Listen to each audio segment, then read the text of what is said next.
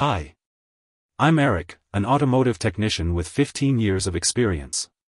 This video is going to explain the meaning of this error code, and show you how to diagnose and fix it. OBD2 code P0010 means the Engine Control Module, PCM, has detected a problem with the camshaft position actuator circuit slash open, which may result in decreased engine performance and increased fuel consumption.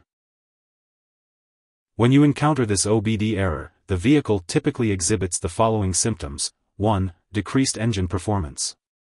2. Increased fuel consumption. Now we talk about possible causes, and how to diagnose and fix. Wiring issue. Check the wiring harness for any visible damage or loose connections.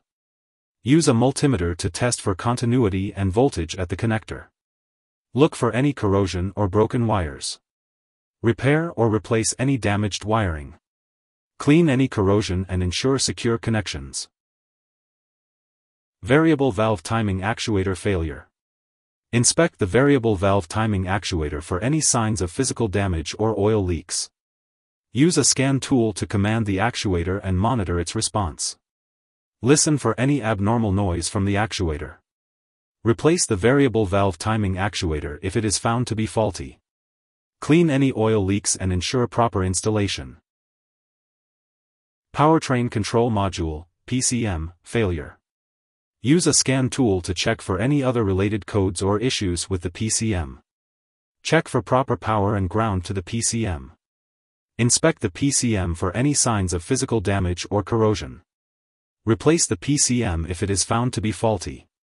Ensure proper programming and configuration of the new PCM. Oil and filter change. Perform a routine oil and filter change if it has not been done recently. Check the oil level and condition for any signs of contamination or sludge. Change the oil and filter with the manufacturer recommended type and viscosity. Ensure proper oil level and perform regular maintenance. If there are uncertainties, feel free to engage in discussions by leaving a comment. Alternatively, when facing difficulties, it is advisable to seek assistance from a professional auto repair shop and technicians. It is not recommended to handle it independently, especially when uncertain. Thanks for watching.